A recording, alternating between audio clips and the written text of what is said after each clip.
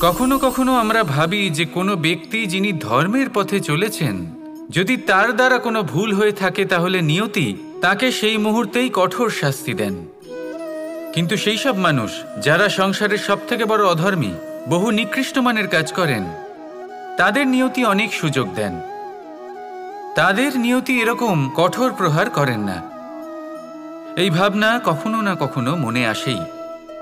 ভেবে দেখুন কেন আসলে জীবনকে বেশিরভাগ মানুষ একভাবেই দেখে থাকেন। বিভিন্ন স্তরে একে দেখা উচিত।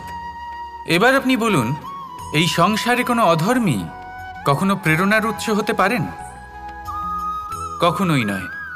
যে মানুষ নিজের আত্মাকে মলিন করে ফেলেছেন, তিনি এই সংসারকে কীভাবে প্রেরণা যোগাবেন? উনি নিজেই বুঝতে পারেন না কোনটা করা উচিত, ধর্ম কোনটা। তাই নিয়তি তাকে একটা সুযোগ দেন। এটা বোঝার সুযোগ দেন যে কোনটা উচিত, কোনটা ধর্ম। সুযোগ দেন নিজের বিবেক জাগিয়ে তোলার। তাকে সুযোগ দেন নিজের অন্তরাত্মার ডাক শোনার। যখন তাতেও কাজ হয় না, তখন নিয়তির কাছে একটাই পথ বাকি থাকে, আর তা হল মহাবিনাশ। মহাবিনাশ হয়তো দেরিতেই আসতে পারে, কিন্তু তা অবশ্যই আসবে। আর যখন মহাবিনাশ আসে তখন মহাবিনাশের যন্ত্রণা সমগ্র মানব জীবনের যন্ত্রণার থেকে অনেক বেশি হয়। এই কথাটা সবসময় মনে রাখবেন। আর অন্যদিকে যে মানুষ ধর্মের পথে চলছেন, তার দ্বারা যদি কোনো ভুল হয়ে থাকে, তখন নিয়তি তার পরীক্ষা নেন। কিছুক্ষণের জন্য মানুষের মনে হতে পারে নিয়তি তাকে কঠোর শাস্তি দিয়েছেন। কিন্তু সময়ের সাথে আমরা সবাই দেখি যে যখন সেই মানুষ সেই পরীক্ষায় উত্তীর্ণ হন, এই সমস্ত সংসারের জন্য প্রেরণার উৎস হয়ে ওঠেন। অর্থাৎ নিয়তি প্রত্যেক মানুষকে তার কর্ম অনুসারে উচিত ফলও দেন, উচিত শাস্তিও দেন। পার্থক্য হল শুধুমাত্র সময় আর আপনার দৃষ্টিভঙ্গির তাই ধর্মের পথে চলুন আর আমার সাথে ভালোবেসে বলুন। রাধা রাধা। মানুষ জীবনে সবসময় সুখ পেতে চান। কিন্তু এই সুখ, এটা আসলে কি? এই সুখের আসল রূপ কি? আমি বলি সুখের আসলে দুটি রূপ হয়। বাহ্যিক সুখ, আত্মিক সুখ। আর এটা ঠিক তেমনই হয় যেরকম আমাদের শরীরের সাথে জড়িত ছায়া আর আমাদের শরীরের মধ্যে বসবাসকারী আত্মার। যদি ছায়ার কথা ভেবে দেখেন, তাহলে বুঝতে পারবেন। আমাদের শোবার সময় ভোরবেলা। এই ছায়া অনেক বড় হয়ে যায়। যখন এই সূর্য মাথার ওপরে চলে আসে, তার তাপ বেড়ে যায়। তখন এই ছায়া ছোট হয়ে যায়। আর যেই অন্ধকার নেমে আসে, এই ছায়া আপনার সঙ্গ ত্যাগ করে। এরকমই হয় বাহ্যিক সুখ। আর এবার কথা বলি আমাদের শরীরের মধ্যে বসবাসকারী এই আত্মা। এই আত্মা কখনো আমাদের সঙ্গ ত্যাগ করে না। সব সময় আমাদের সাথে জড়িয়ে থাকে। এরকমই হয় আত্মিক সুখ। যা সব সময় আমাদের সাথে থাকে। আত্মিক সুখ কারোর সেবা করে। আত্মিক সুখ কাউকে সাহায্য করে। আত্মিক সুখ প্রেম বোধের যা কখনো আমাদের সঙ্গ ত্যাগ করে না। সেখানে বাহ্যিক সুখ যতক্ষণ আপনি সম্পন্ন কিছু মানুষ এবং সুবিধার সাথে আছে, এই বাহ্যিক সুখ আপনার সাথে থাকবে। সম্পন্নতা চলে গেলে, মানুষজন চলে গেলে, সুখ সুবিধা চলে গেলে, বাহ্যিক সুখও চলে যায়। তাহলে এই আত্মিক সুখ খুঁজে নিন এবং সেই সুখের সাথেই বলুন, রাধা রাধা, আপনি কি কখনো কোনো উঁচু পর্বতের শিখরে পৌঁছতে পেরেছেন? যদি পৌঁছে থাকেন বা যদি আপনি কোনো উঁচু পর্বতের শিখরে যান, তাহলে ভালো করে দেখবেন। আপনি যত উঁচুতে অগ্রসর হতে থাকবেন, আস্তে আস্তে সমস্ত বনস্পতি বিলুপ্ত হতে থাকে। তারপরে সমস্ত গাছপালা পশু, পাখি সব বিলুপ্ত হতে থাকে। শেষ পর্যন্ত সেই শিখরে থেকে যায় শুধুমাত্র শান্তি, নীরবতা। আমাদের মানুষের সাথেও এটাই হয়। মানুষ যখন আত্মবিকাশের পথে অগ্রসর হতে থাকে এবং নিজের জীবনের শিখরে পৌঁছতে চায়, তখন তার একা থাকা অত্যন্ত প্রয়োজনীয় হয়। আর তাকে তখন ত্যাগ করতে হয় নিজের সুখ স্বাচ্ছন্দ্য, নিজের সম্পত্তি, নিজের সমৃদ্ধি, নিজের সৌন্দর্য। দেখুন, জীবনের শিখরে পৌঁছনো একেবারেই সহজ কাজ নয়। এ হলো অত্যন্ত দুর্গম এক পথ। কিন্তু যদি আপনি সেখানে পৌঁছতে চান, তাহলে আপনাকে ত্যাগের প্রবৃত্তি জাগিয়ে তুলতে হবে। ত্যাগ কি সেটা জানতে হবে। কারণ ত্যাগের ফলেই মনে শান্তি আসে, আর সেই শান্তির ফলে মনে উৎপন্ন হয় প্রেম। আর এই প্রেমই হল জীবনের অন্তিম লক্ষ্য। তাহলে আসুন আমার সাথে ভালোবেসে বলুন, রাধা রাধা। মানুষ নানান ধরনের বাসনা পোষণ করেন। তাদের নানান ইচ্ছে থাকে, অভিলাষা থাকে, নানান কামনা করতে থাকেন। স্বপ্ন দেখেন, প্রার্থনা করেন যেন তা সফল হয়, নিজের সম্পন্নতা কামনা করেন।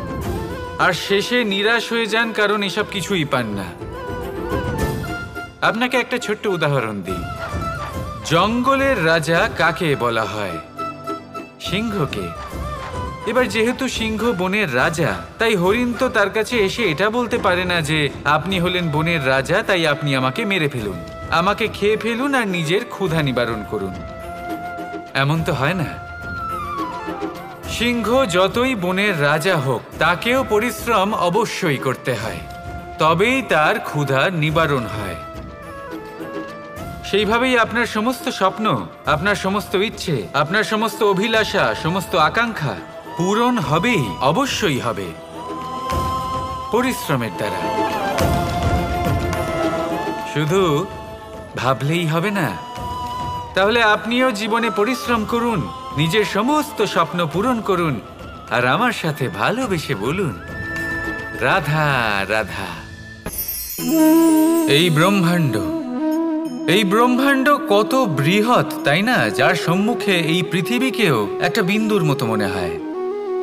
আর এই পৃথিবীতে আমরা কে হই? আমাদের আকার কি রকম আমাদের অস্তিত্বই বা কি? যখন আমরা এভাবে ভাবি, তখন মনে হয় আমরা কিছুই নই। তা আমরা যখন কিছুই নই, তাহলে আমরা এত চিন্তা করি কেন? কি ভেবে ভয় পাই? কাকেই বা এত ভয় পাই? কে আমাদের মারতে পারে আর কেই বা আমাদের জন্ম দেবে? আত্মার আসলে না কখনো জন্ম হয় আর না কখনো মৃত্যু। আত্মা শুধুই শরীর বদল করে।